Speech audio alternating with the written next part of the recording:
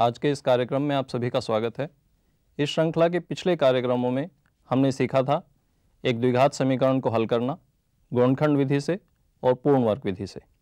आइए आज सीखें गणित की यह महत्वपूर्ण अवधारणा किस तरह से हमारी समस्याओं को हल करने में हमारी मदद करती है। आइए शुरुआत करते हैं एक पहेली नुमा प्रश्न से। प्रश्न है, एक विद्यालय के विदाई समारोह में शामिल विद्यार्थियों में प्रत्येक ने एक दूसरे को एक एक उपहार दिया। यदि उपहारों की कुल संख्या 132 है तो विद्यार्थियों की संख्या ज्ञात कीजिए। अगर हम मान लें कि समारोह में कुल x विद्यार्थी शामिल हुए तो यह स्पष्ट है कि कोई भी विद्यार्थी खुद को तो उपहार दे नहीं सकता। अतः प्रत्येक विद्यार्थी द्वारा दूसरे विद्यार्थियों को दिए गए उपहारों की कुल संख्या हुई x घटा एक। जब एक विद्यार्थी x घटा एक उपहार देता है तो x विद्यार्थी कुल कितने उपहार देंगे? x गुणा x घटा एक। और कुल उपहार दिए गए 132 तो आइए इस समस्या को लिखने का प्रयास करते हैं। माना विद्यार्थियों की संख्या बराबर है x एक विद्यार्थी द्वारा दिए गए उपहारों की संख्या बराबर होगी x घटा एक।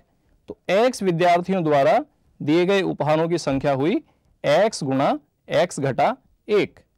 अब क्योंकि कुल उपहार दिए गए हैं 132 अतः x और x घटा एक का गुणनफल 132 होगा। आइए देखें।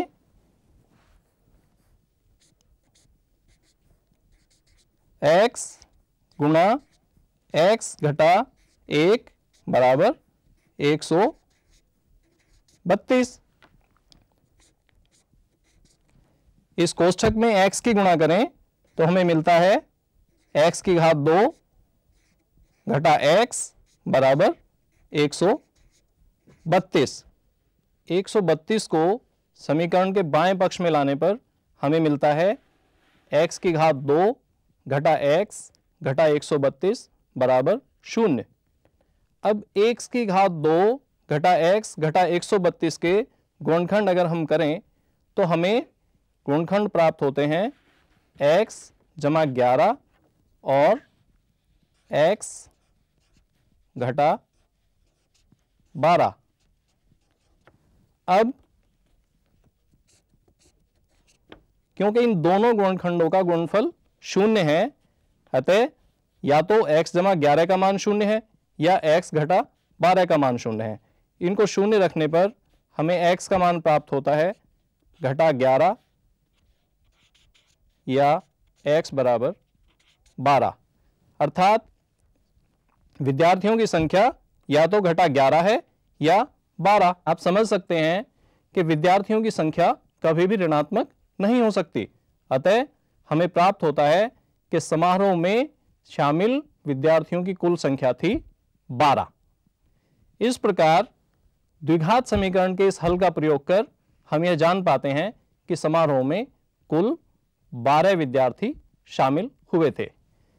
इस समस्या का अगर हम विश्लेषण करें तो हमने देखा कि हमने सबसे पहले जिस राशि को हमें ज्ञात करना था, हमने उसको माना था x, और उसके बाद जो राशियाँ हमें समस्या में दी गई थी, हमने उनको समस्या का विश्लेषण कर प्राप्त किया और फिर हमने इनका आपस में संबंध स्थापित किया, जो सामान्यतः एक द्विघात समीकरण हमें मिलता है।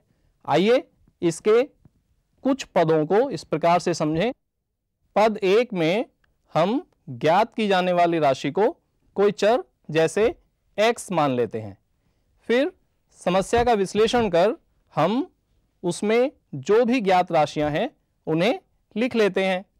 और पद तीन में ज्ञात और अज्ञात राशियों में प्रश्न के अनुसार संबंध स्थापित करते हैं, जो सामान्यतः एक द्विघात समीकरण होता है। पद चार में हम द्विघात समीकरण को हल कर अज्ञात राशि का मान प्राप्त कर लेते हैं।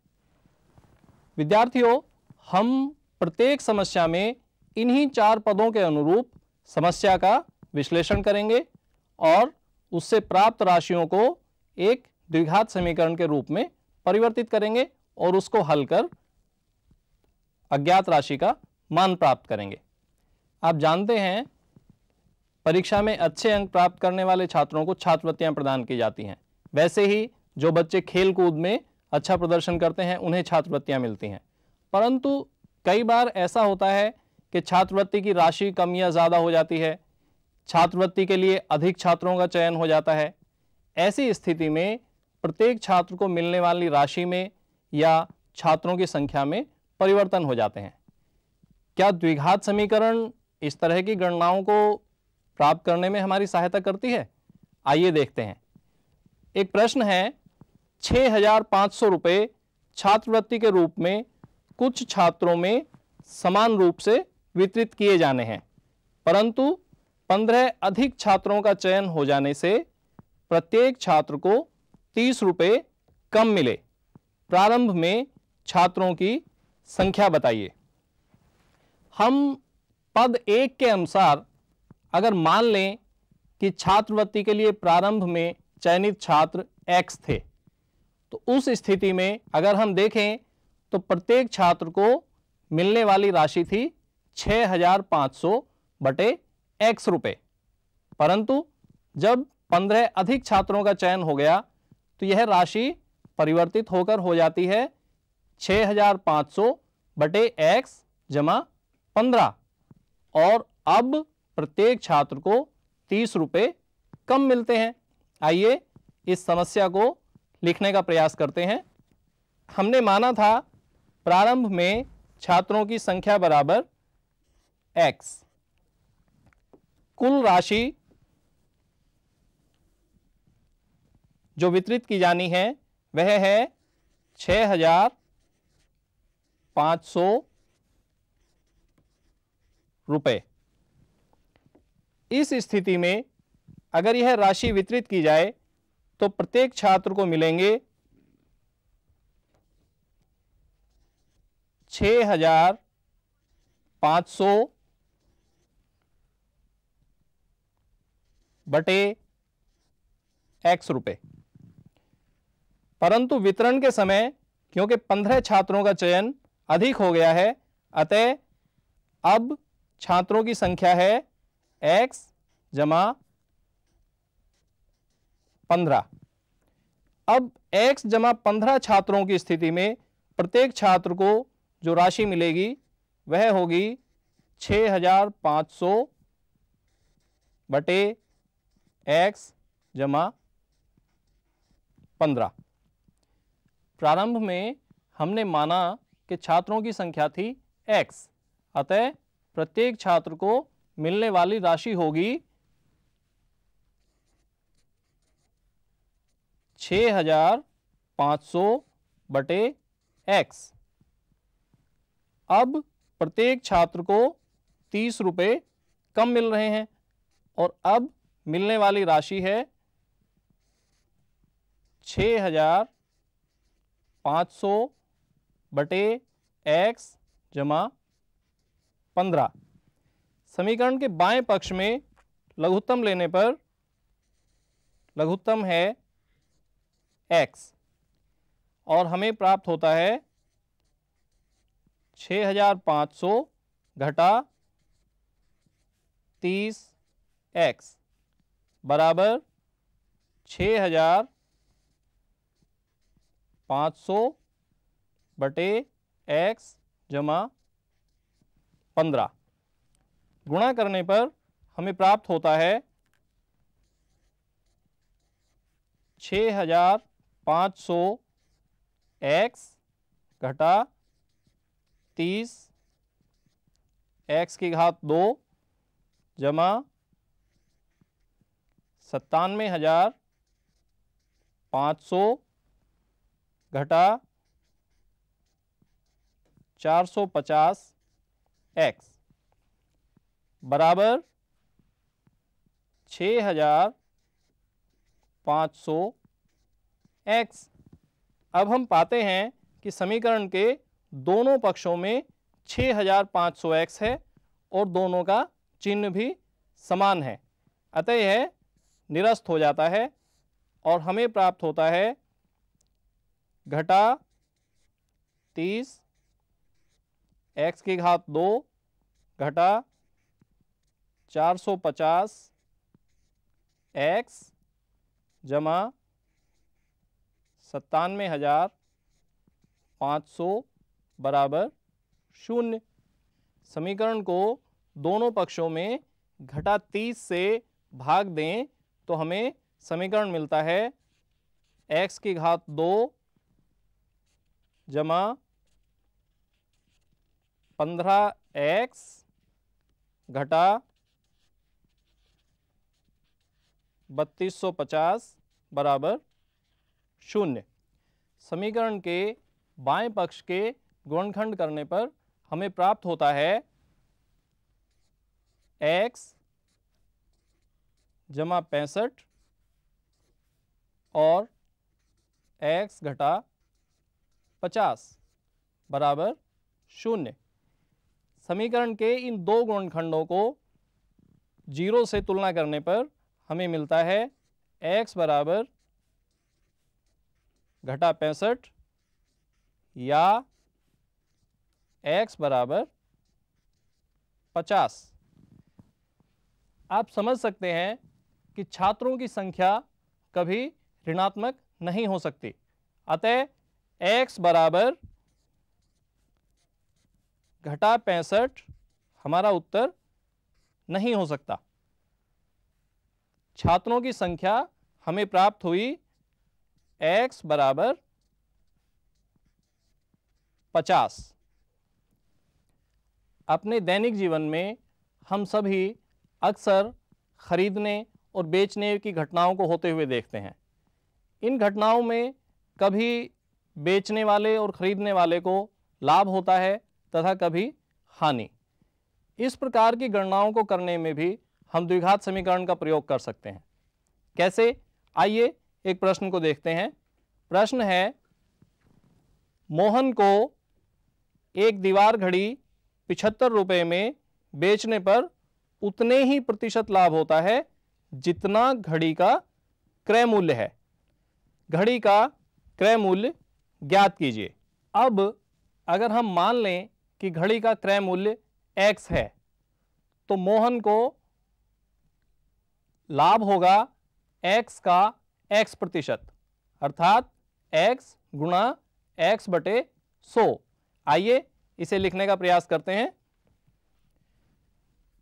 घड़ी का क्रय मूल्य था x मोहन को लाभ लेना है x का x प्रतिशत, जो होगा x गुणा एक्स बटे सो। अगर क्रय मूल्य x है और लाभ x की घात दो बटे सौ तो घड़ी का विक्रय मूल्य होगा x जमा x की घात दो बटे सो। प्रश्न के अनुसार विक्रय मूल्य है पिछहत्तर रुपये अतः x जमा एक्स की घात दो बटे सौ बराबर होगा पिछहत्तर के। x जमा एक्स की घात दो बटे सो बराबर पिछहत्तर। दाएँ पक्ष का लघुत्तम लेने पर हमें मिलता है सो एक्स जमा एक्स की घात दो बटे सो बराबर पिछहत्तर। गुणा करने पर हमें प्राप्त होता है x की घात दो जमा सौ एक्स बराबर पिछहत्तर सौ। पिछहत्तर सौ को समीकरण के बाएँ पक्ष में लाने पर यह द्विघात समीकरण है, x की घात दो जमा सौ एक्स घटा पिछहत्तर सौ बराबर शून्य। इस बाएँ पक्ष के गुणनखंड हम करें तो हमें गुणनखंड मिलते हैं x घटा पचास और x जमा एक सौ पचास।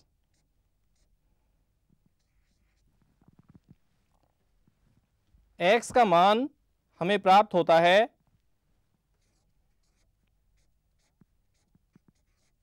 पचास या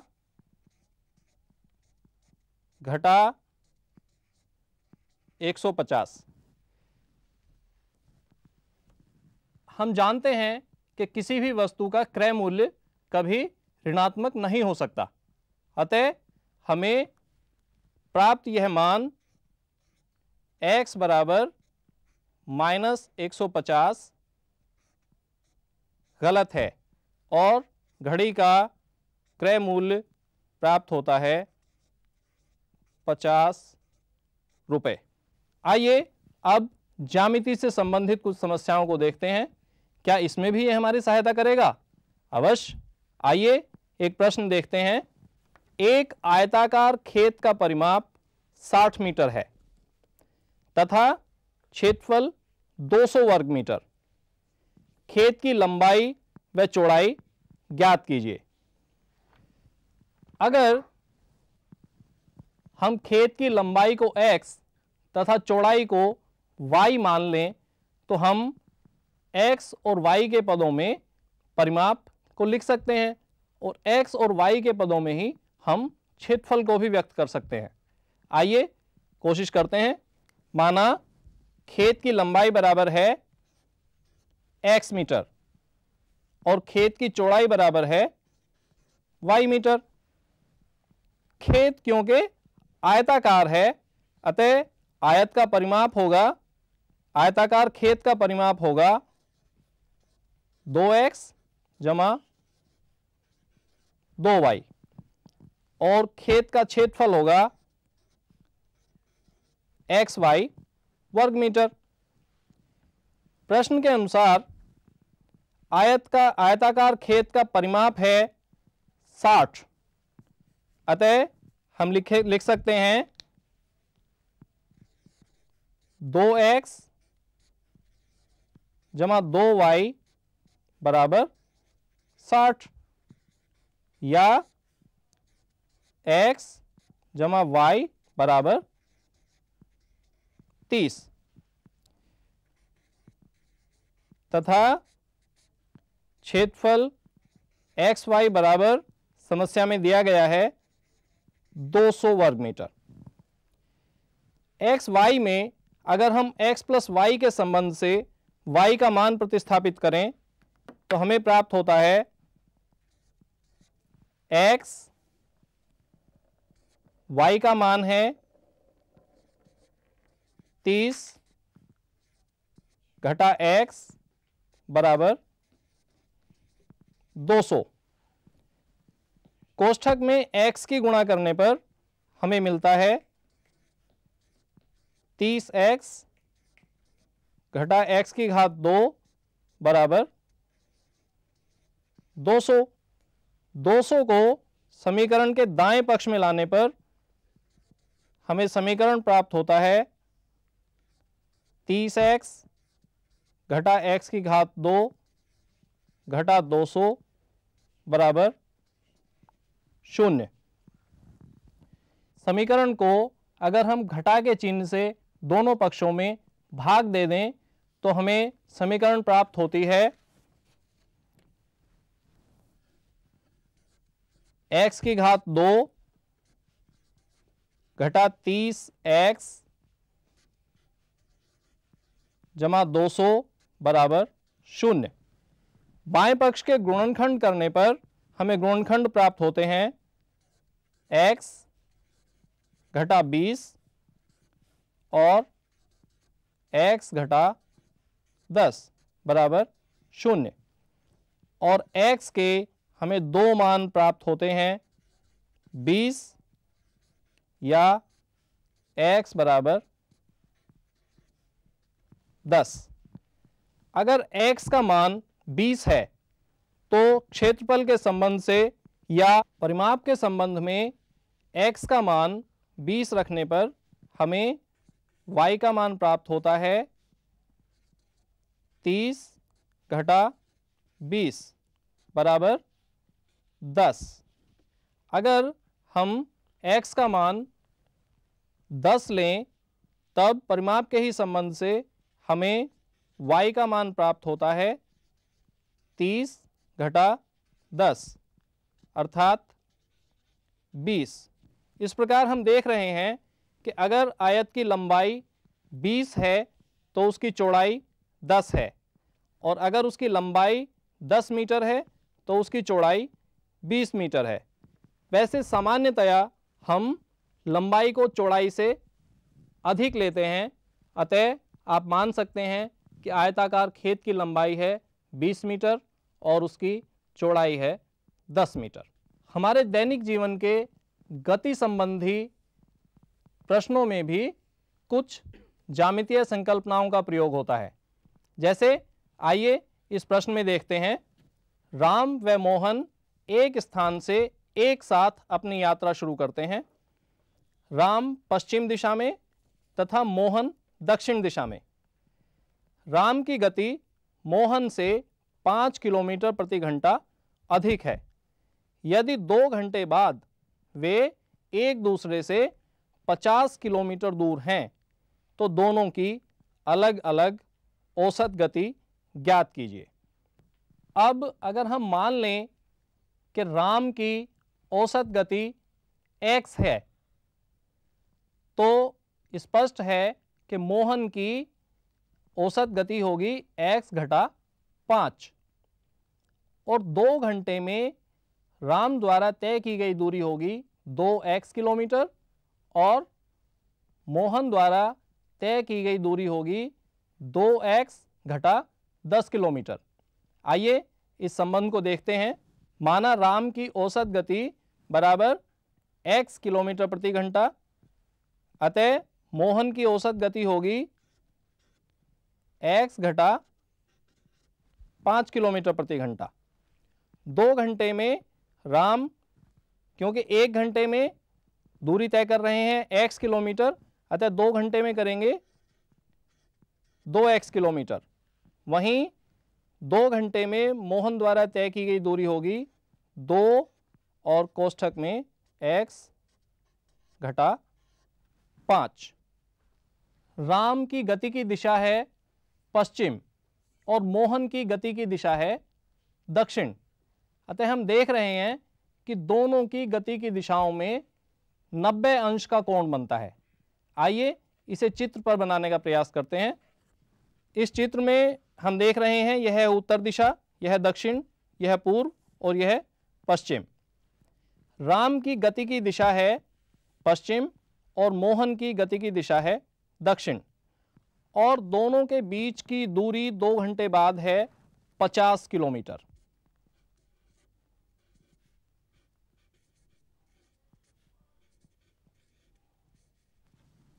हम देख रहे हैं, यह एक समकोण त्रिभुज है, जिसके अनुसार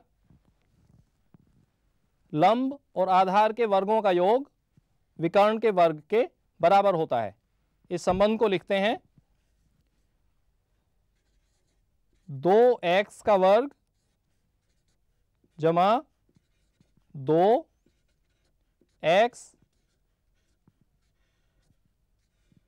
घटा पाँच का वर्ग बराबर पचास का वर्ग। हमें संबंध प्राप्त होता है चार एक्स की घात दो जमा दो का वर्ग होता है चार और एक्स का वर्ग यानी चार। एक्स का वर्ग जमा पाँच का वर्ग होता है पच्चीस और पच्चीस गुणा चार अर्थात सौ। और एक्स घटा पाँच के पूर्ण वर्ग का तीसरा पद है घटा दस एक्स जिसको चार में गुणा करने पर हमें मिलता है घटा चालीस एक्स बराबर पचास का वर्ग है पच्चीस सौ।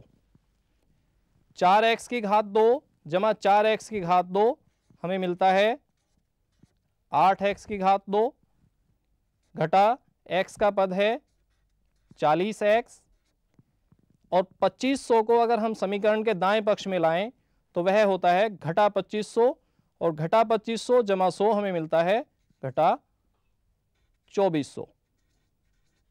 बराबर शून्य।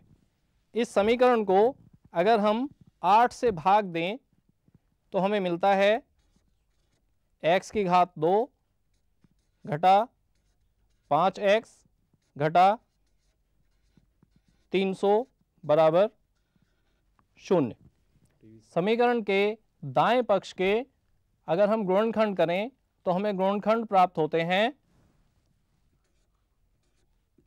x घटा बीस और x जमा पंद्रह बराबर है शून्य। हमें x के दो प्राप्त मान हैं, x बराबर बीस या x बराबर घटा पंद्रह। आप जानते हैं कि किसी भी व्यक्ति की गति कभी ऋणात्मक नहीं हो सकती। अतः सही प्राप्त उत्तर है x बराबर बीस। एक्स बराबर घटा पंद्रह, सही उत्तर नहीं है। एक्स है राम की गति, जो 20 किलोमीटर प्रति घंटा है। मोहन की गति, जिसको हमने वाई माना था, वह इससे पाँच कम है। अर्थात 20 माइनस पाँच बराबर 15 किलोमीटर प्रति घंटा। आज के कार्यक्रम में हमने सीखा द्विघात समीकरण को अपनी व्यवहारिक समस्याओं के हल में प्रयोग करना। इस विधि का सबसे महत्वपूर्ण पक्ष है समस्या को द्विघात समीकरण के रूप में परिवर्तित करना, जिसको हम आपको एक बार फिर बता रहे हैं। समीकरण के पद एक में हम ज्ञात की जाने वाली राशि को x मान लेते हैं। दूसरे पद में हम समस्या का विश्लेषण कर जो भी ज्ञात राशियाँ हैं, उन्हें लिख लेते हैं।